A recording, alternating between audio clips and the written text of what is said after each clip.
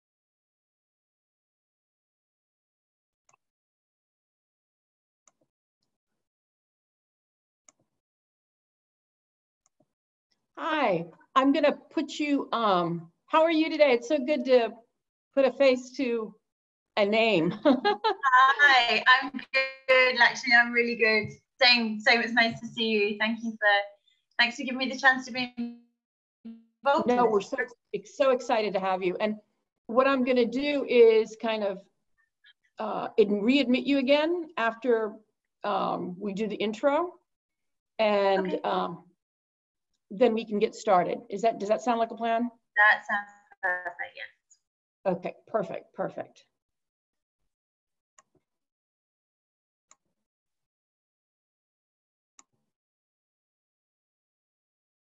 Yeah. I know, I'm so bad at this. I'm just learning how to use it. I'm not very, I'm not very good with Zoom at all. So I'm glad I managed to actually get on with audio and video. Mm.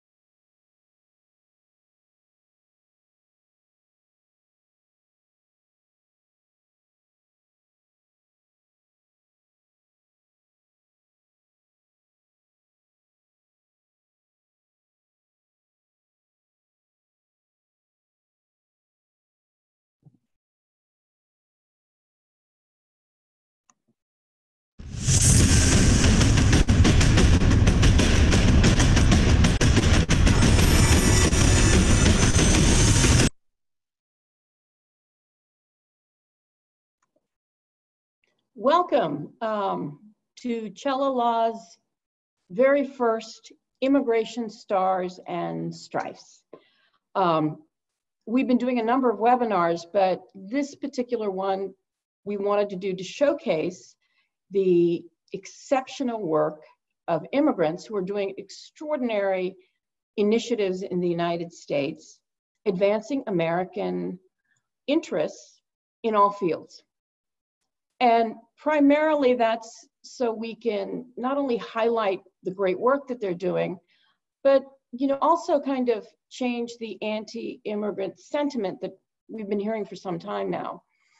And uh, recently, you know, through the COVID pandemic and especially the economic downturn, that seems to be, that voice seems to be even getting louder. Uh, recently, you had uh, a bunch of senators, four of them, including uh, Senator Cruz and Grassley, sent a letter to the president to expand his proclamation, uh, even greater to ban all types of immigration into the US. And citing that the downturn in the economy was the reason. But, you know, that's a, that's a, a fallacy uh, because it's not a zero sum game. Unemployment of one person doesn't mean that uh, they can fill a job um, that someone else is doing because the skill set might not be the same. Let's say I was out of a job and the hospital needed, you know, more doctors. Could I fill that need? I don't have the education, I don't have the experience and background, and it can't be readily taught so that I could advance very quickly. And that's pretty much how it is. And speaking of doctors, um, a vast majority of uh, our healthcare workers are either immigrants or from an immigrant background. And very recently, you know, as we're all worried about the continued impact of COVID, two of the companies that may be coming up with a vaccine, some kind of the front runners, um, both have immigrant, either a founder or co-founder. So aren't we glad they immigrated here where they're able to work directly with the FDA and Dr. Fauci and his team to quickly turn around this vaccine? So that's why we thought this discussion was really important because if you want to change the narrative, you have to be part of the discussion. And that means not only uh, talking to those people who agree with your views, but making sure you include talking to everyone, even those people who are totally against um, what your beliefs are, and having that discussion with civility and respect. And so we welcome all types of viewpoints here as long as they are uh, given with civility and respect. And with that, let's talk about um, our guest today, Liz Tyson. Really excited uh, that she's on our show. This morning I was listening to how um, this self-secluding could lead to a surge in problems within mental illness.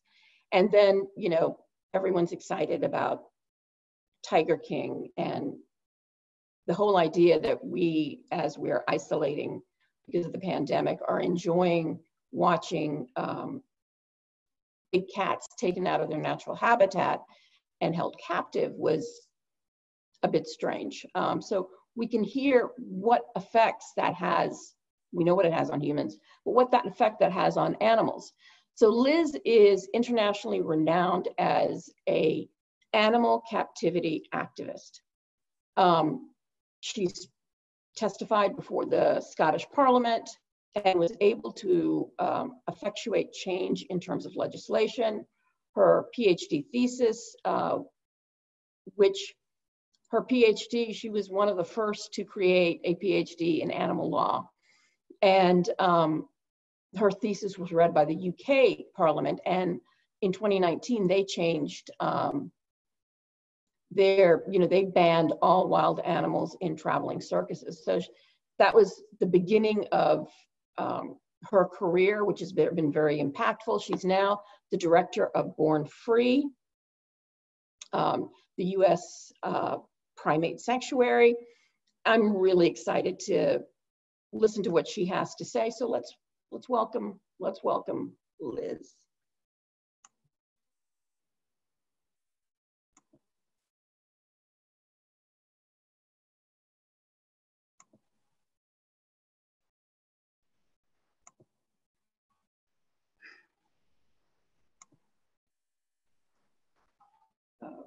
Liz, I'm trying to get you. Uh... There we go. Hi, Lakshmi. Okay, good, good, good. I think I did what I was supposed to. Let's get you in gallery view. There we go. Excellent. well, welcome and thank you for um, taking your time out and uh, talking to us today about, you know, what Born Free is doing and specifically your work on animal captivity. I know that um, it really, reading some of your work, uh, changed my perspective on what I perceived were harmless uh, places for animals to be, like zoos. And um, I have to say, I did go to the SeaWorld show and thought they were cute. And it just seemed like, oh, the animals are so happy. And really not even understanding what the impact is. So that's why I think it's great that you're here to kind of talk to us and and let us know, um, especially given you know not that the Tiger King was, but I think it's exemplary of what our perception is as we see uh, shows like that or um, see animals in other scenarios where you know if our they were doing those things to our dog or our cat, we'd be upset. And we think because it's a wild animal, it's better off here than it is there. So why don't you first tell us a little bit about Born Free? I, I know this is going to date me, but I actually know, I remember the theme of the song from the movie, uh, which is, you know, but, and I've been singing it all week as we've been getting ready to have our um, meeting today. But I, I love the story of its inception and the work that you guys are doing. Do you want to tell us Thank a little you. bit about well, that? Thank you so much for having me, and particularly on the first um, of these webinars. I don't think I realised it was the first one, so that's really exciting. Um, a disclaimer before we begin on actually on animal captivity. Um, working from home and working with animals, um, my puppy is currently sleeping. She can be a little bit rambunctious, so we may have to do an eviction um, at some stage. So apologies in advance to anybody who's watching um, if the barking starts. We will resolve that if we have to. Um, Okay, about Born Free, yes. So Born Free was founded in the 1980s by the actors uh, Bill Travers, Virginia McKenna, and their son Will Travers, who remains, and um, Virginia remains um, very much involved with the organization. We were very lucky to have her come and visit the sanctuary last September, which was wonderful. It was wow. the first time she'd been here. Her son Will remains president um, and oversees both Born Free USA and the original kind of founding organization Born Free UK. So it's um, very much still linked into that initial idea. And Born Free was founded off, off the back of a number of things, but core to our work has always been wild animals in captivity. There was a particular elephant in London Zoo, Pole Pole, who was actually the the kind of inspiration to found the organization by Bill, Virginia, and Will um, back in the 80s. But really, the seeds were sown during the filming of the film Born Free. Um, which yes, the the song ends up stuck in everybody's head all the time. I think it's actually the hold music when you when you call the office in the UK. So I walk around with it in my head much of the time. Um, and so the yeah the process of kind of understanding more about wild animals, what it means to them living in captivity, um, and how they suffer when they're kept in captivity was kind of really the driving force behind Born Free being founded. Since then, the organization globally has developed to encompass work such as my work, so animal sanctuaries. There are within the Born Free family, there are a number of sanctuaries, um, the largest primate sanctuary in the US, which um, I'm very fortunate to run, and also sanctuaries in some African countries which care for big cats, which are obviously the iconic species, which is always associated with our organization. Um, mm -hmm. Born Free USA is the younger um, but no less powerful and um, effective sibling of Born Free UK. We were founded later and we work very closely with the original founder organization. Our board shares members, so we, um, we're in kind of constant contact. But our work in the US, we have some different campaigns and some different focuses um, in terms of the specifics of it, but ultimately, mm -hmm we're all working towards the same thing. We don't believe that wild animals should be held captive for entertainment. Um, if wild animals are held captive, then it should be as part of a rehabilitation program. Yeah. Um, such a rescue rescue centres such as we run here. We don't want. We have 450 monkeys here. To be honest, we wish that we could be put out of business because monkeys do not belong in South Texas. But the guys that we look after have come from the exotic trade. They've come from the zoo industry. They've come from laboratories, and so what we provide here at the sanctuary is the best life we can give them. Ultimately, we wish they had been born in their natural troop, in their natural mm-hmm. habitat. That's, I mean, and you said it's the largest uh, primate sanctuary in the United States.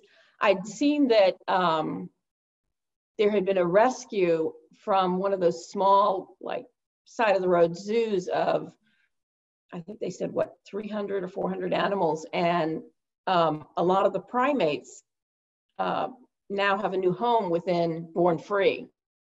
And. I love the story. Not, I didn't love it. It was sad. Mrs. W- is it Wilkinson? Um, Wilkins. The, Wilkins, yes. Yes. yeah. So we had we were contacted by ALDF and the Animal Legal Defense Fund who do fabulous work in bringing. Um, so as you say, a roadside zoo it had a USDA license. It wasn't this kind of rogue entity. It had been cited multiple times under the Animal Welfare Act, but it took a not-for-profit organization to do the work, to do the investment, um, and to take the time and bring the legal clout to take mm-hmm. um, the zoo to court. And thankfully, as a result of their work and also a local um, a local animal rescue group in Iowa who were working with them, they secured basically the confiscation of some 400 animals. Wow. Um, and then undertook the immense operation of working out where to send those animals. And so not only did they deal with the legal side of things, they then um, started dealing with the, the legal rehoming we were contacted, um, and this makes me very proud. We were contacted because they wanted the primates there to come to us because we're we're known as an exemplary sanctuary and very proud that we have mm-hmm. GFAS accreditation, which um, is a is a rigorous process, and it means that we are one of the most sort of outstanding sanctuaries in the world. So they contacted us. They asked us if we could take uh, five monkeys, so two macaques, Mrs. Wilkin, our elderly mm-hmm. um, new arrival, who we were we were concerned about her. She has many, many health problems. She has arthritis. She has various um, issues with bone deformities, which will go right back to her childhood when she was taken away wow. from her mother. Too young. She won't have been weaned properly. She won't have developed properly. And then a lifetime of poor nutrition will has meant that she is um, physically, she looks very unwell. Uh, mm. mentally, she is one of the feistiest little monkeys I have ever met. She takes no prisoners. Um, so we, we agreed to take those two initially. Uh, so there was Mrs. Wilkin and her best friend, Anna. So they came to join us beginning of January. We had a space to put them. Um, they were wonderful. Mrs. Wilkin very quickly showed us who was boss. If you go to her enclosure without a treat, my goodness, you're in trouble. Um, she wants nothing to do with you if that's the case. She's she's wonderful, and it's been wonderful to see this elderly monkey who's had such an awful life um, yeah. no vet care and no proper nutrition, nothing really provided for her that she needed, suddenly thriving in her new environment. Uh, we were also asked to take three baboons, but baboons are baboons are kind of a different story. They are much bigger, they are much stronger. Um, they are, I mean, all of the animals we care for, monkeys are dangerous wild animals, but baboons in particular can be extremely dangerous. So that's a real undertaking to take on um, those kind of animals. And we didn't actually have any space to take them. So unfortunately, we had to turn the baboons down. But ALDF was so keen for us to have them that they very generously granted the funding for us to create oh, a new space for these baboons. So yeah, it was fabulous. So we we started building straight away, and beginning of March, Marlin, Violet, and Presley, who we've since found out are probably father and daughters, came to join us, and they went from living in a tiny, filthy cage um, without any of their needs being met. They now live in a beautiful one acre open top enclosure oh. um, who we're making friends with. And it's been, it's such a privilege to watch them arrive and thrive in their new homes. It's just wonderful seeing them have this sort of second chance when they've had such an awful start to their lives. That's, that's amazing. And we'll talk a little bit about uh, animal captivity and um, in various scenarios and what the impact is in a second. But it was interesting to me that it was um, the Animal Legal Fund that kind of partnered with you um, to try to come up with this like holistic solution. Like, yes, we can take the legal action now. What do we do the animals next? And um, I thought that that was really interesting because you um, created your own degree program. Uh, you've got a PhD in animal law. And so, did you from the beginning think that um, the interception between your activism um, for animal rights, specifically animal captivity, and um, having a legal side can help um, shape policy? Is that what the idea was? Yeah, it really was. I mean, in some ways, my PhD was an exercise in me being incredibly stubborn, um, mm-hmm. because mm-hmm. as as an animal activist, there are there are narratives. You know, we're talking about today about narratives surrounding immigration. There are also narratives surrounding animal activism, and some of it very positive, depending on your outlook. Others, depending uh, if you take a different view and you're trying to challenge what we're doing, then we can be radicals on, on kind of the kinder side, we can be terrorists on the other side, we can be all of those negative stereotypes which are thrown at the animal rights movement um, and are usually patently untrue. The other thing that we would get is that, you know, you're a bleeding heart liberal, you don't know what you're talking about, mm. you're hmm. not a scientist. So, working in a campaigning background for a number of years and trying to change laws, we would find ourselves at the table as an NGO but then we wouldn't necessarily be taken as seriously as we would like. And particularly, mm-hmm. my PhD program came about because one of my one of my main interests in terms of academia is looking at having a legal background initially, looking at animal welfare laws, and I feel that they're often held up by governments as a shield to say we've got mm. this great law, look how well animals are protected. I right. think animal welfare law is also one of the most underfunded areas of law when it comes to enforcement. Anything to do that isn't to do with people, and there's huge underfunding of, of enforcement of law which deals with people's welfare. But when we're talking about animals, it's even less so. So what interested me was that we had laws technically to protect wild animals in circuses in the UK. We had laws to protect wild animals in zoos in the UK. Mm-hmm. What I was seeing as an activist, and this is kind of where the intersection came in, is I'm looking at the law and I'm going, okay, well, I don't agree with them being in captivity, but if these laws are followed, technically their welfare needs are supposed to be met. What we were seeing in practice was that that wasn't happening, and yet mm. these places still had licenses, which then comes back to the, the roadside zoo where these monkeys came from. They had a license. So they could hold that up and say, you know, we've been granted this license, therefore everything we're doing is fine. And why would members of the public question that? That people mm-hmm. believe that you've been granted a license, you followed a process. So my PhD came about because I wanted to create, or not create, but show evidence of what we were seeing from a really strong kind of academic footing that couldn't just be dismissed as saying, well, you're emotional about animals about in zoos, um, therefore this is just your opinion. What I wanted to show was actually, no, we've got evidence. and what the research showed was that while the, the law existed, we found um, over a decade there were 1,000, I want to say something like 1,100 instances of clear breaches of the law that had been recognized during inspection, and there was one instance over a decade of the correct enforcement action wow. being taken. So that was so my yeah, I've got a, a, really strong interest in enforcement, and that yeah, like you say, that's where ALDF comes in, and just that you know making the mm-hmm. forcing the law to be enforced because it doesn't necessarily happen unless there are external factors pushing it. So um, yeah, that's how that's kind of how my PhD ended up coming about, and that's a big interest of mine. Well, that's amazing because it's true. You know, without enforcement, there's no teeth, right? And yeah. there's no incentive for anyone to adhere to it, um, adhere to whatever the existing laws are, because there's no fear of um, any enforcement. And early on, I, I um, you you you spoke before the uh, Scottish Parliament, and I think your PhD thesis was reviewed by the uh, UK Parliament. Mm-hmm. And I know shortly after your, um, I guess we call it here, testimony or presentation to the Scottish Parliament, they cha- they banned wild animals in traveling circuses. And I saw that uh, in 2019, even the UK banned wild animals in traveling circuses. So you know, how was that when you were talking to uh, members of parliament in terms of, could you see, you know, what part of your presentation kind of lit the light bulb up in their mind thinking that this needed to change?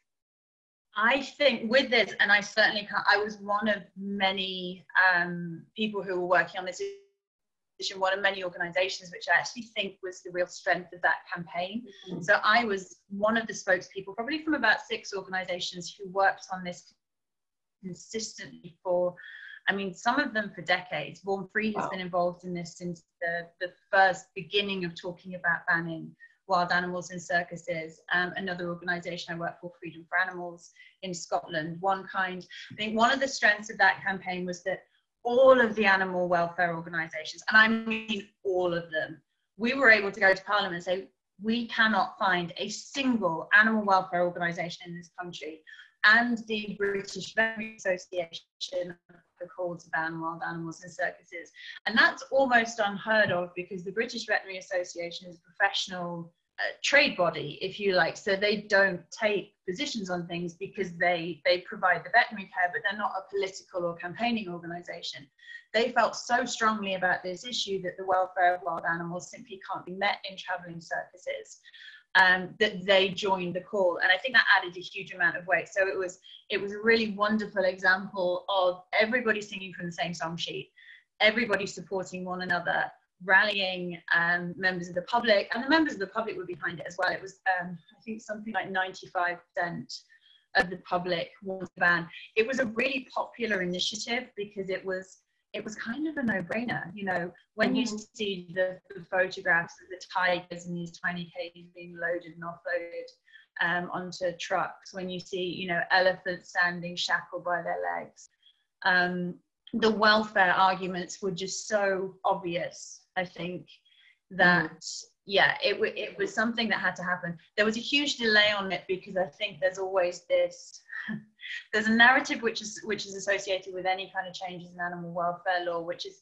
this will be the thin end of the wedge. Mm-hmm. Um, oh, oh, if it were, oh, if it was that easy to get one law passed, and right. then that just opened the floodgates.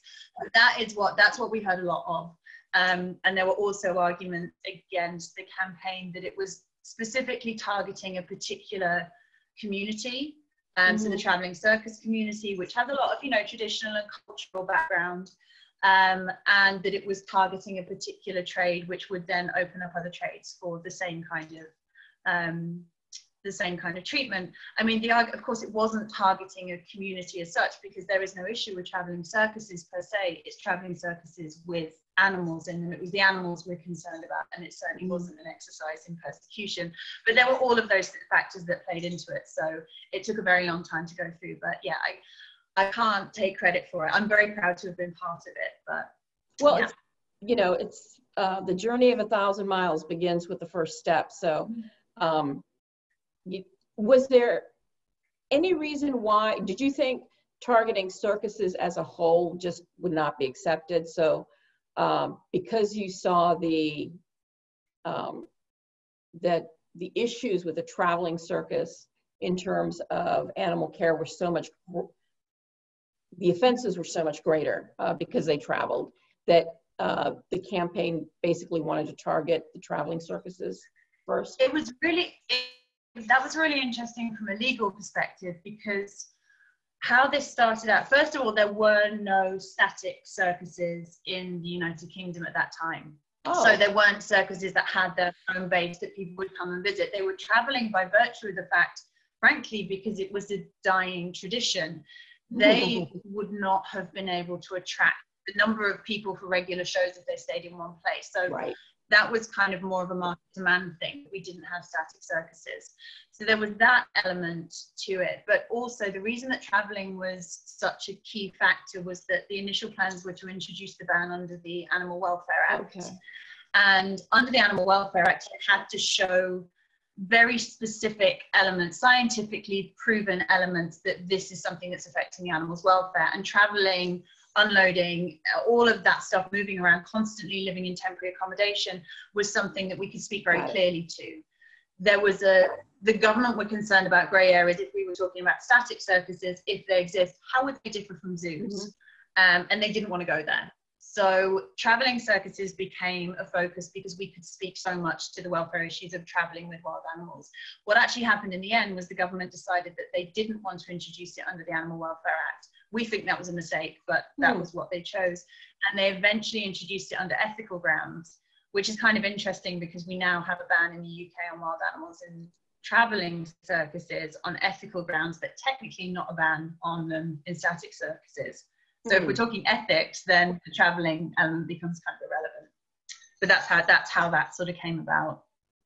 Right, and I, you know, when I was when I was reading the legislation, I kept thinking, what's, you know, because I remember Ringling Brothers and Barnum and Bailey growing up, and they would come into town at a specific period, and I said, what circuses are? Thought the same thing that what circuses are static, but then I wondered, you know, because of this ban, did you start seeing that there were more circuses that claimed to be static? There was there was one um, one guy who'd been involved in traveling circuses for many years who owned his own big cats and kind of rented the big cat packs hmm. out to traveling circuses. He did a very short stint in Scotland where he he claimed to be a static circus and then claimed to be something else. And I think, to be honest, to his credit, to some extent, he was working out where what he could get away with. Um, mm. In the end, it was it was called a, a, night with lions and tigers. It was set at this this kind of static show that people visit. It wasn't very popular. There was a lot of opposition to it because you know people the public weren't that interested in the details of the legislation. Um, what they were voting for and what they were um, responding to surveys about was they didn't want to see tigers in cages being made to jump through hoops and they didn't mm-hmm. care if they were in a in a tent in one place in Scotland or if they were being moved around in tents, you know, to different tents in Scotland. Um, so it wasn't very popular. And to my knowledge, it just kind of died a bit of a death. Wow. Wow. Yeah. I mean, I, um, you know, from the, you know, reading about, you know, the treatment of animals in circuses, whether, you know, and then you know, I could kind of understand that because I thought, you know, it doesn't look very professional. They, you know, animals never look happy. But when I listened to your speech um, about SeaWorld, and I actually watched the documentary Blackfish, having been a um, person that visited SeaWorld with her kids, I've even got the still got the stuffed animals for them. You know, as I was watching that, when you know back in the day when I went to SeaWorld, I thought all the animals look so happy. You know, everyone looks so happy. This is just so wonderful. Not thinking at all about the origins and the conditions and the, this is not their habitat. They're not going to be happy. And you know, Blackfish, uh, the documentary was kind of a hard documentary to watch, to be honest with you, because I just didn't realize um, and when you see at the beginning of the film how they're sourcing the orcas, and they're actually going after the babies because they're easier, they're cheaper to transport.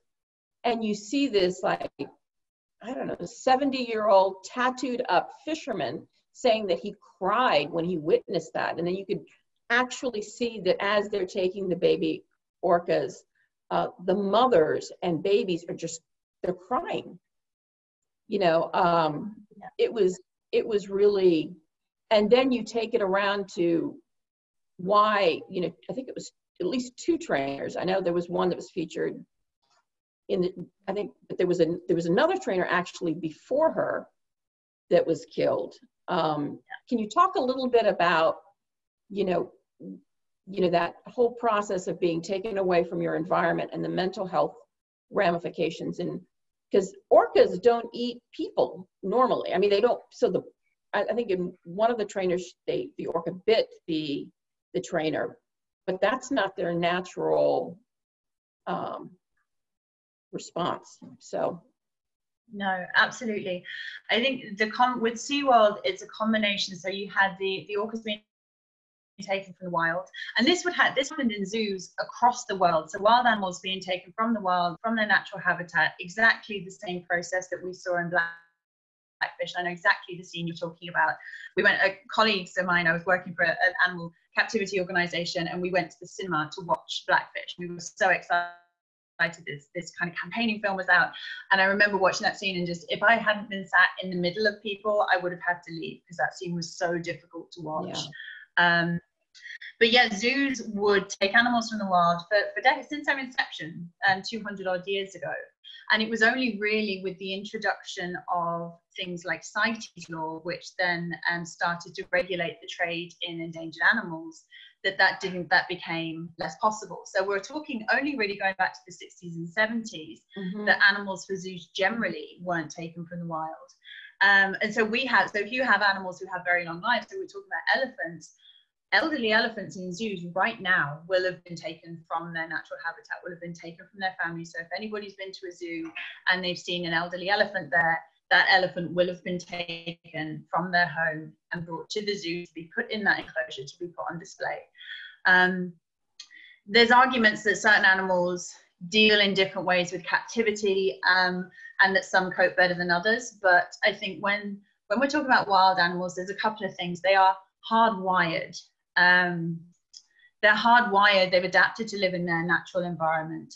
An orca who was born in a swimming pool in Florida still has the instincts to migrate, still has the instincts to live in these huge social groups that are, you know, hugely complex and they develop lifelong relationships with other animals. Elephants, the same. Mm. Um, the opposite for kind of non-social animals, big cats who are forced to live in small enclosures in zoos when they would naturally be solitary. Um, mm. Animals forced to mate, put, put in completely unnatural situations. Uh, we see pandas being, you know, um, anesthetized and inseminated on a regular basis because we're desperate to breed pandas because um, they're in danger in the wild. And what ends up happening is exactly what I think you mentioned at the outset that people can maybe empathize with a little bit more right now is that you spend too long in the same place and you are denied your freedom of movement. There's a reason that we incarcerate people as one of the worst punishments we can give to another human yes. being is taking away their liberty. Why we think that wouldn't have a similar effect on animals is beyond me. Um, particularly when animals will generally, they will traverse much, much bigger spaces than we would. Um, mm-hmm. So what we see is depression, literal depression. You know, in the in SeaWorld, there were a number of animals who were on antidepressants. There is an entire kind of pharmaceutical sector which deals with antidepressants for wow. animals. Um, and wild animals develop depression when they're in when they're kept in captive situations and they're denied natural social um, opportunities when they're denied their natural climate when they're denied their natural habitat when they're denied the challenges that they would normally have mm-hmm. in their day-to-day life and so we see them turning aggression on each other we see them really disturbingly turning aggression on themselves um, mm-hmm We've seen this with with monkeys self-harming, biting their own hands, biting their own tails. We have a baboon, Betsy, who was kept for 33 years as a pet. She's miss, missing part of one of her hands because she literally chewed it off. Oh um, the the, the long-term effects of isolation from your own kind and from your species is immense. Um, and wild animals are not domesticated. Domesticated animals, rightly or wrongly, the, the puppy sleeping on my bed is not a wolf, um, you know, and whether or not we should have submitted animals to the process of domestication is a question that's kind of moot now because it happened 10s mm-hmm. of thousands of years ago. It changed animals genetically. Dogs are not wolves. Domestic cats are not tigers. Right. Um, tigers are tigers and wolves are wolves and they still have those same instincts they can't live along people alongside people happily they can't live in concrete uh, enclosures happily, they can't live in confined, confined spaces happily. And so we see it manifesting in serious mental health issues. And, you know, I think especially now where, because we, you know, I was watching one documentary, it was supposed to be about uh, neuroprocesses and, you know, they, the researcher was tickling a rat Mm-hmm. and the rat was laughing and you know he, they were saying you know because you don't associate the emotions that we have. We can empathize with my dog. Like if i have to put my dog i take her to work every day so she doesn't have to be alone. Um, you know so i can look at her and I can see that she feels sad or but in our mind we sit there and think we don't afford that to a baboon or to an elephant um, and understand that as we're experiencing all these issues with self-secluding um, and people saying it's unnatural we're social beings we like to be around people we don't translate that into animals and so we're able to watch. Um, and I want to talk about the um, wild breeding and, you know, when I read that there are more big cats in captivity than they are out in the wild, that blew my mind. And then as I started reading more and more about it, it's that whole idea of like with the orcas, that a lot of times they go after the cubs. And, you know, the cubs, they will mishandle, you know, for photo ops and other things. And um, it's horrible. I mean, so Tiger King and, you know, all of the breeding and the types of things that they're doing. Um, what are your thoughts on? I know what your thoughts are, but can you tell us why some um, of those? Yeah, I mean, I mean, I think Tiger King was really interesting. I think just as a, as you can probably imagine, my colleagues and I, my friends and I have discussed this a lot. I think um, the actual documentary itself was a fairly irresponsible example of filmmaking that, that made it this soap opera about individual people. Um, what I found really shocking about that was the normalization of the abuse. So um, I won't talk too much about what actually happened in the documentary because people might not have seen it, but there are scenes where the owner is the protagonist is literally beating the animals. He is taking away babies from mothers at a few hours old and narrating this. And I think that almost got that got lost in the whole kind of you know mm-hmm. scandal around the people, but people didn't recognize that as abuse because I watched that and I came away from that feeling sick Mm-hmm. But that isn't what's being talked about. So I think the idea of tigers in captivity is so normalized that people didn't see that kind of it became a this kind of inconsequential backdrop to this documentary where these right. animals were being abused on camera. There was there was points where he was kick, he was grabbed by the ankle and he's kicking one of them and I think he either points or fires a gun near their head. It's animal abuse and it was being broadcast, but it wasn't the that wasn't people's takeaway from it. And I've read in recent days that it reopened recently and they had just hordes of people going to see. So that the actual animal welfare message of that documentary was completely lost, which is heartbreaking because it could have been such a great opportunity. Yeah. Well, so I know, think things. I'm sorry. I was going to say that I, I had heard, you know, from people I know because and not, you know, it's because they didn't they weren't thinking through as to the ramifications, but they'd say, "Oh, I'd love to have a big cat as a pet. Um, those cubs look so cute." And I, as a mom, I'm sitting there thinking, "But you can't take a baby, any baby, away from its mother that early and have it handled by so many people." And there not be health ramifications to that. I mean, I found that to be yeah, really disturbing. I think there's a number of things. The other thing that we're really used to seeing with tigers in captivity is there are a lot of white tigers featured. Um, and white tigers exist in, um, there was a small pocket of um, white lions in Kruger National Park. There's been small pockets of um, white tigers, but they're not a species. And they are a genetic anomaly.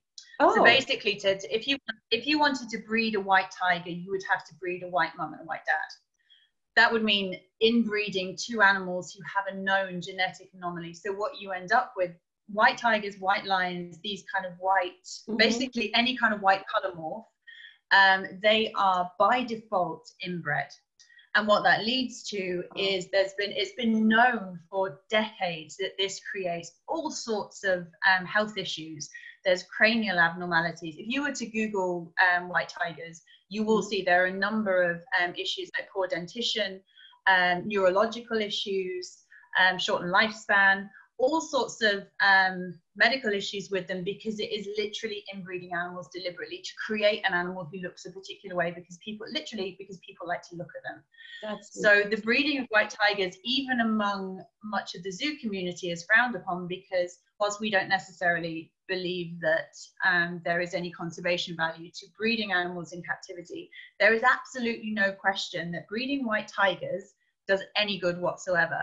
Um, so there's that. There is, as you say, taking animals away from their mother at a couple of days old is horrible for their emotional development and also their physical development. Um, big cats have been known, one of the um, animals who really suffer if they are not given the childhood that they're supposed to have. Mm-hmm. And they develop very, very serious um, mental um, and physiological health issues as a result of that. What is the um, what's the regulatory, you know, it, is there a lot with for breeding wild animals? I mean, is there a lot of, because it would seem to me that if that's a genetic anomaly and it's not good for the animal to inbreed like that, and it's known scientifically, isn't there any regulation that would, isn't there any oversight uh, for wild animal breeding? no, unfortunately, not, or not that I know of anyway. Um, because, and I think this comes back to a really fundamental point with animals is that animals are under global law deemed as property, and therefore you can do as you wish with your property. So you cannot there isn't really a way of controlling that. There's a way of controlling conditions of breeding. So, for example, you know, if you have a dog breeding company or things like that, then the and the welfare standards of your facility can be overseen. But in terms of controlling breeding, it's literally it's kind of frowned upon, but there's nothing that can be done to stop it. Wow. The zoo industry has um, breeding programs where they hold stud books and they um, connect different zoos with one another to take part in breeding programs theoretically to avoid inbreeding and to manage that process, but it's not legally managed. And to be honest, research has shown that a lot of the animals who are on those books are kind of the pet project of whichever particular researcher holds the stud book. And then there's also questions, there's wider questions about breeding animals in captivity who are never going to be released to the wild. Is that ethically sound? We would argue mm-hmm. that it isn't. Um, and also the idea, the kind of wider narrative that if the zoo industry ranging from the worst roadside zoo to the absolute, you know, quote unquote best zoo in the world, if they are breeding animals and telling people that that's conservation, whereas mm-hmm. the animals are going extinct in the wild, then I think that raises serious questions about to what end are you breeding these animals? They become these kind of genetic vehicles for their species, but what about the individual? If we only have Bengal tigers who live in concrete enclosures in zoos, right. have we really done anything to save that species? I think it direct it diverts very important attention away from really critical conservation conversations that need to be happening where these animals live in their natural habitat. Um, and, and it, it makes you wonder because you said you talked earlier about the panda, and you know we're all think I'm thinking as I'm watching, you know, they had a webcam in there, everybody's watching it oh, there's not enough pandas in the wild, so this is a great service that they're doing. But, you know, and it sounds, it's probably, you're probably thinking, why didn't she think of this earlier? But really, you know, you, as you're, you don't think of it from that perspective because that's what it is, right? I mean, everything is about trying to understand that different perspective. And um, now thinking about it, it is, you know, we are just breeding them to then continue to cage them and not we're mm-hmm. not bringing them out into their natural habitat exactly yeah and um, i for those who may not know um, i know we've we touched a little bit about zoos but what's the difference between like uh, zoos and other captivity and sanctuaries because okay. some people may think although when I listened to one of the video uh, about Miss, I think Wilkins, um, the veterinarian was saying that, you know, we're going to be the, the, the, type of care, and she even mentioned um, acupuncture. So I, I'm pretty sure that they don't have acupuncture therapy at zoos, but can you tell us what um, the difference is? Sure, I think, and I think that that's a question we get asked a lot. Um, and I think that it's something that isn't necessarily obvious. There are there are good sanctuaries, and there are less great sanctuaries. there are zoos on sliding scales, you know, so from the worst roadside zoos, like I mentioned before, you know, the most well-funded um, zoo in the world. And ultimately, you would be able to find comparable institutions in both camps. So you would be able to find a sanctuary which looks very much like a zoo, where perhaps the enclosures are very similar, the level of care is very similar. I think the difference is that for sanctuaries, our aim is not to create more captive animals. Right. Zoos kind of um, reason for being is the reason they exist is they're businesses who display animals to the public whether cynically just to make money, whether because there's a genuine belief that it's contributing to conservation. I think it's probably somewhere in the middle. But what they're ultimately doing is they're breeding more and more wild animals into a captive situation. Mm-hmm. What we do at a sanctuary is that we provide the best possible home that we can for animals who have nowhere else to go. We do not breed them. We provide a home for life, which is something zoos have been known um, across the board to, to quote unquote cull animals, so kill them when they're either not genetically useful for breeding programs, if they are again overstocked. These are all phrases that I hate, but we when we take in an animal, we take on that animal for life. We provide the best possible care that we can. Um, we don't open to visitors. Some sanctuaries do in a controlled way, and it really depends on the animals you're dealing with and how well they cope. I think the fundamental difference with sanctuaries is that we are there to do the absolute best we can for the animals. Zoos are there first and foremost as businesses to exhibit animals. And so there's um, no, that's you probably don't, quite controversial. And there's obviously crossover in some and, sense. And people can't, it's not open to the public to interact with the animals.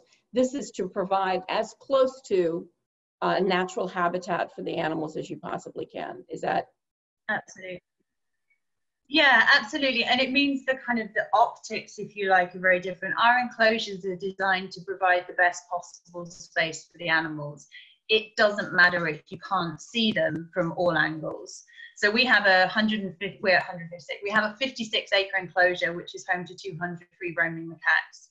We drive in there um, two or three times a day. We feed out there, we change waters, we check on everyone to the best of our ability. But ultimately, if they don't want us to see them, they can go off into the trees and we don't see everyone every day. If we need to find somebody who's sick, we can spend hours in there, you know, looking for an individual. Mm-hmm. But they have more freedom than perhaps an animal in a zoo would because an animal in a zoo, the complaints when you come to see the elephants, if the elephants are roaming across 56 acres and you don't get to see them that day, then that leads to complaints. So zoos right. are created around the visitor's gaze. Sanctuaries are created around the animal's needs. So mm. it so practically, like I say, you could look at a zoo and you could look at a sanctuary and they could look very similar. Um, and you could argue that you know what it doesn't the, to the animals they don't care. You know the animals don't care if they're in a zoo or they're in a sanctuary. Um, but our ethics are very different, our mission is very different, and our end game is very different. We basically want to put ourselves out of business. I would love if there were no more captive monkeys to come and live yeah. in enclosures we have here because monkeys don't belong in cages, full stop. And they can't be, these animals can't be released to the wild now because they're not used to being. No, and that really speaks to, again, your point about the about the tiger cubs and lion cubs being taken away from their mothers. These animals have not been uh, you imagine a, a, human child being brought up in absolute isolation of any other human beings. And imagine what that might look like if they then try and integrate they're then like you know as an adult integrating into the world without the language without the social skills without the you know without everything they need that they would have learned from either a family or community, um, these animals simply wouldn't survive in the wild. Um, and the other thing is they are they're also a threat to their living counterparts because they've been bred in unnatural situations.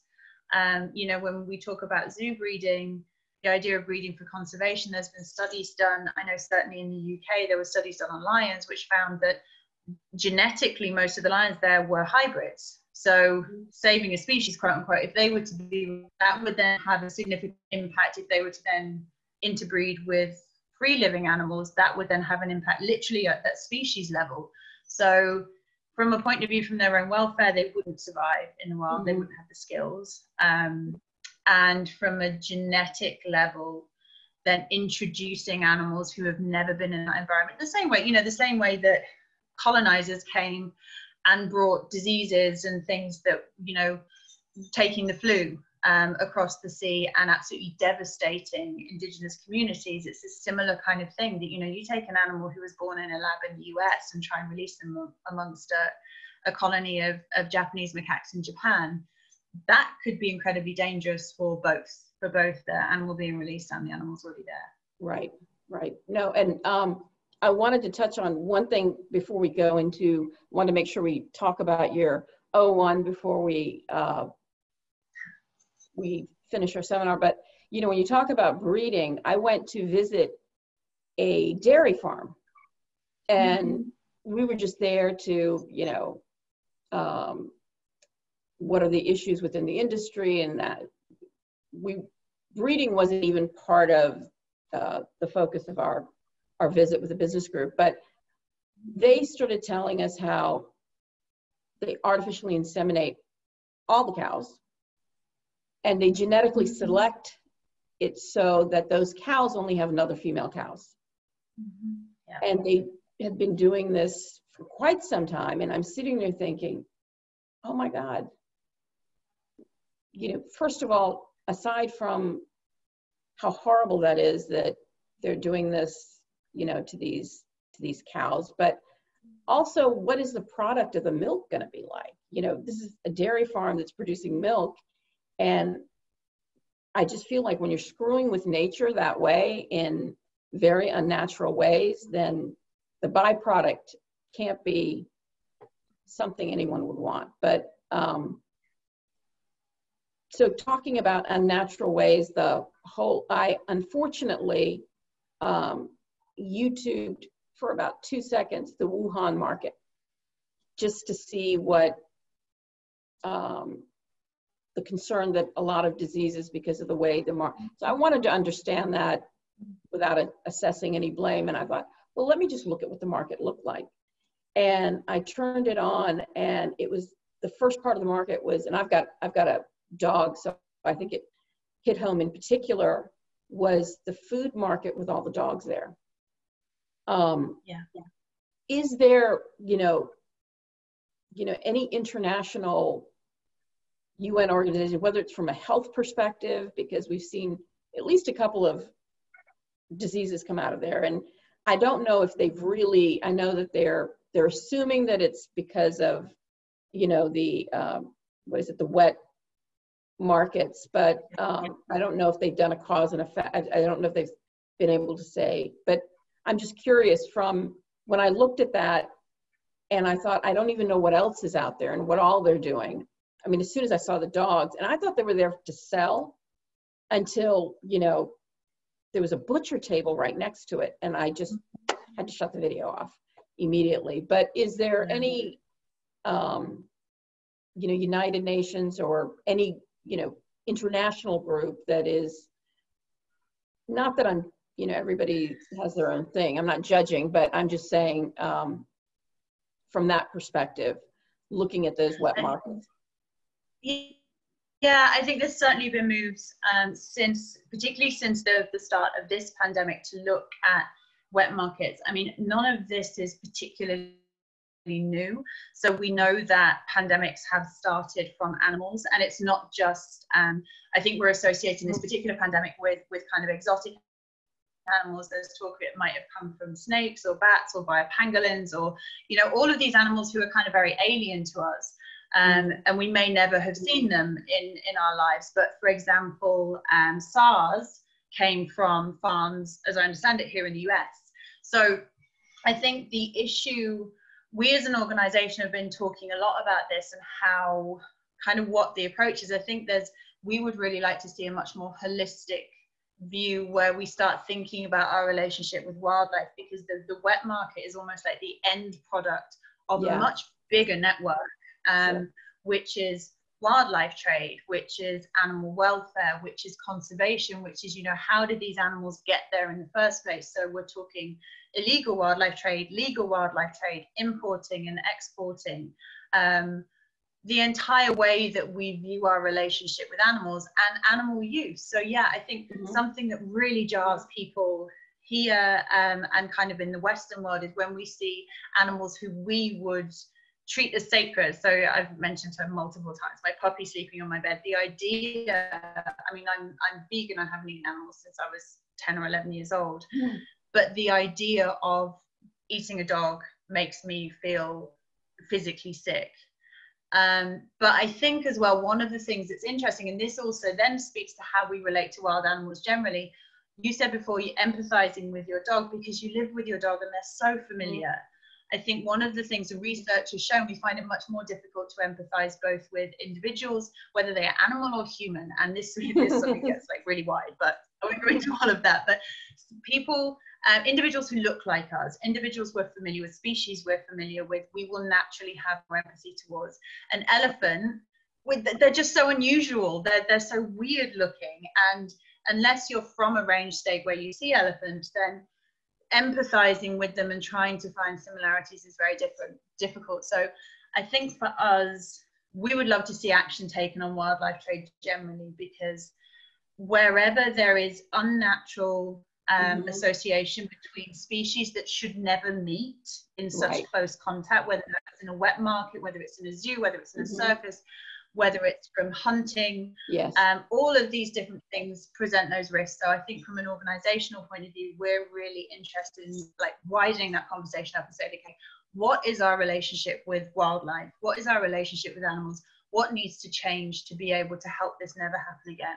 And I think it also goes into human rights stuff, you know, working conditions in those markets. Um, working conditions in meat packing factories. So we're seeing like meat mm-hmm. packing factories being closed down. And most of the time, people working in those industries are people of color. They are people who are in a vulnerable financial situation, mm. who don't necessarily have access to healthcare.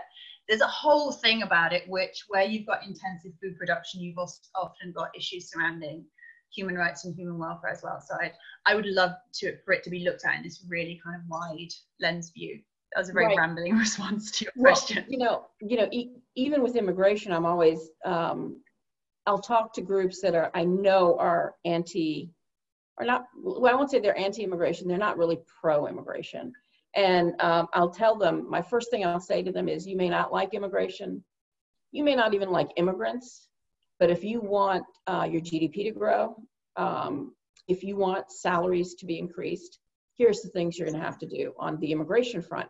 So I was thinking on the same, you know, people who believe in animal rights, well, you don't really have to sell that to them, but there's a vast majority of people that may not empathize by seeing a video or a documentary, but they know that this pandemic was catastrophic. And so trying to make sure we're doing everything we can to, you know, keep another pandemic from taking place. And then I thought that that may be, you know, kind of another way of trying to get to the animal rights objective um, from a different side. Absolutely. And I think that's, and I've seen a lot of conversations going on from the very simplistic, which I don't think is particularly helpful right now, is the very simplistic conversations where it's like, go vegan and this will never happen again. Right. Um, it's much, it's much wider than that um, to the kind of there's been surveys been being done where you know sort of um, poll type things where you know mm-hmm. now that you've seen that there's a link between um, consuming animal animal products and and this pandemic would it stop you eating animal products and a lot of people are like nope and I think you know food choices and things so tied up in you know tradition and culture yeah. and family and community. And there are some there are some amazing groups doing amazing work on stuff like that. Um, the Food Empowerment Project looks at the intersections of animal food production and human rights and how it all combines. I'd recommend people checking that out definitely when we're looking at consumption of animals and um, what that might lead to in terms of health um, health consequences. Then uh, it's re- it's a really interesting conversation. Definitely. Can you in, were you referencing a study or a documentary um, about you know looking at food reduction and uh, and human rights as a whole? Can you if you if you've got some resources, we had someone who um, asked a question if we could send them some resources afterwards. Um, yeah, I mean, information on some of this. Food Empowerment Project is a is an organisation which works very and um, specifically. It's run by uh, women of colour. It's a it's an awesome organisation. They do wonderful work surrounding that, um, and that is their full focus. There's also um, there's other organisations. Yeah, absolutely. There's some who kind of doing active work on the ground. Um, and there's others who are kind of really looking at kind of outreach and education surrounding it. So Food Empowerment Project will be my go-to on that specific issue of those intersections. And then I'll have a think there's probably others that I, um, that yeah, I can recommend afterwards, definitely. That's fantastic. You know, it is, um, I was telling everyone, I said, you know, I'm sure you'll enjoy hearing her talk I became a fan. I mean, I just was obsessively listening to your, because, you know, I just feel like, I feel like you present it in a very different way. Um, you know, I, I think in one of your talks you said, you know, you said exactly that, you know, about food, it's a personal choice. Um, about medical testing, you could, you could kind of, you know, you don't agree with it, but you could see how people could justify it because it's something very personal. But going to a zoo just for our pleasure didn't seem to justify the harm that it, it causes the animal. And I thought that that was um, a great way in which you're not really, because any people think that anyone who supports animals, they're all, you know, vegans and, you know, they, they don't want, you know, the idea that they don't want anyone eating animals and you know that whole lot but you were you you made that really nice analysis that there is no especially in this day and age of technology there's no benefit really even education wise to a zoo because you can do it virtual. Um, so you know it, it didn't seem to it just seems it seems so frivolous. Yeah. It's, it seems such a frivolous thing. Um, I think what's interesting is, you know, sort of food product eating, you know, consuming animals' flesh and the, the kind of um, testing on animals is this kind of very prolonged thing which goes on over a period of time. You know, you are somebody who consumes animal flesh, you're kind of invested in it. That's that was a very negative way of putting it, but you know, if you're a meat right. eater, you eat meat and you eat fish, then it's part of your life, it's part of your day to day, it's something you do daily every few days. But going to the zoo is something you might do once every few years if you happen to have a spare Saturday afternoon. But it's right. that combination of all those people going to the zoo that one Saturday afternoon. And it does it really make a difference to your life? No.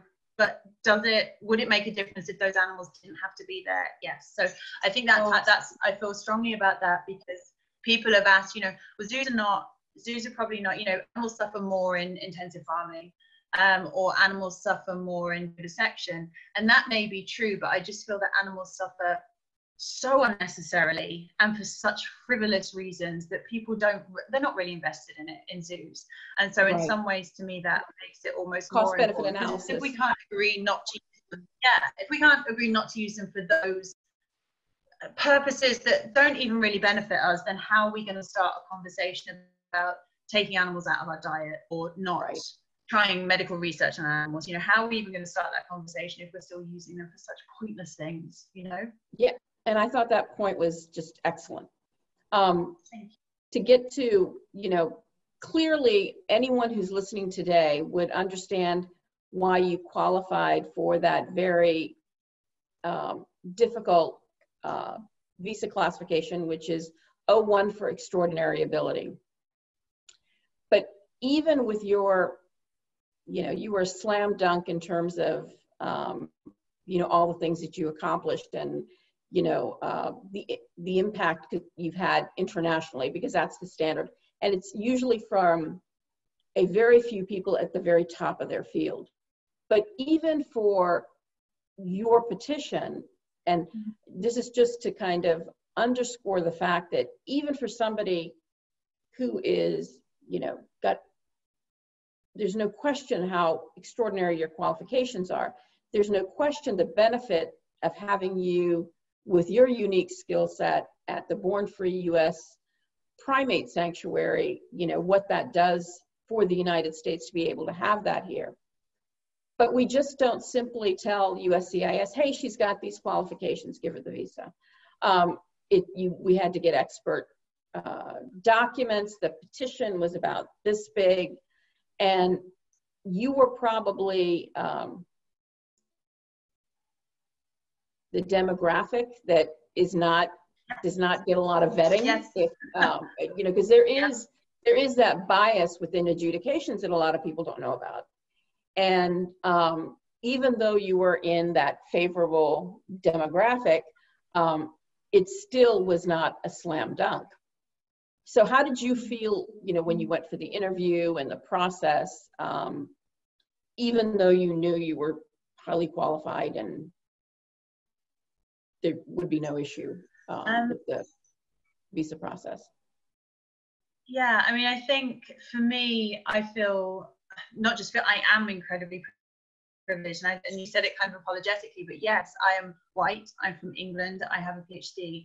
I tick the boxes of the the quote unquote desirable immigrant, if you like. Um, I'm coming from a huge position of privilege, and also I was incredibly lucky that my uh, visa application was sponsored by Born Free.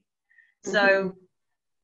I can't imagine. My process was very easy, having heard how did and having heard the narratives about immigration. I felt very, very lucky, um, and it made me realize quite how different other people's process is. And I had, you know, I ticked the boxes and I'd done the work and I got the mm-hmm. doctorate and things like that. But had I been from a different country, had I had a different skin color, had I been a different nationality, um, had I had different experience, had I had huge potential but hadn't had the opportunity to do what I'd done educationally, which again speaks to my background and my ability and my privilege in my own country. It's like everything is stacked so that you know I everything was stacked for me to succeed. Um, right. I think I've done. I, I feel very very lucky uh, I didn't find the process particularly difficult, but I know people who have struggled. I've, I volunteer with an organization which works with refugees who've recently arrived from, um, often from um, Central South America. Mm-hmm. And to the foil the difference between their experience with immigration and my experience, right. these people have got no less potential than I have. And in fact, you know, these people are often fleeing for their lives, for their own safety. Right um, and then not everything is stacked against them um, in a way that has just been it's been very very obvious to me so in the sense i feel incredibly lucky that i was given the visa i was able to take up my absolute dream job here um, i'm really grateful that you are having the conversation about immigration because right. everyone has potential um, mm-hmm. the fact I got to do stuff before I came here to show what that might look like is because I'm very lucky in my life. Um, you know, right. other people who might have potential to do wonderful things in the US are being denied that opportunity before they even get a chance, which I just think is such a shame for them and, and also for the US. Because yeah. No, I was going to say, but on the same token, now we're seeing denial rates for O's, and um, mm-hmm. it's you know I, I've been practicing for over 20 25 years. Um, and I remember a time where, for somebody with your background, with all the boxes ticked and the accomplishments you've had, the petition would have been about this big. You know, we would have just had to kind of write out. I think our our um, our argument uh, outlining that you're extraordinary was, I think, 20 to 30 pages. Just our argument alone, and I remember yeah. my arguments would be about 10 pages um, mm-hmm. previously. So even for somebody that's, um, like I said, that's got all the boxes ticked, that's with a great organization, that's above and beyond what the uh, regulations outline that a person of extraordinary ability needs to meet, it's still not, you know, a slam dunk, and you still have to you know, kill a small forest in order to submit the petition. And um, for, you know, the more you get away from those boxes being ticked and, um, you know, all those other things, the larger and larger the evidence and the more hurdles they, they have to go through. But I'm, I'm glad that you're aware that a lot of people um, are not aware of the disparities. And I want to thank you so much for, I could talk to you all day. I want to thank you so much for all the, you know, insight and information and the great work you guys are doing um, at the Born Free. You know, I, I just loved watching the videos of the different animals and the stories you guys are telling. And um, thank you again for doing that great work. And thank you for opening my eyes. Um, after I, you know, you told me about what happens with monkeys at zoos. My daughter lives in Missouri, and everyone kept saying, "You got to go to the Missouri Zoo, Missouri Zoo." I said, "I'm sorry, I don't do zoos.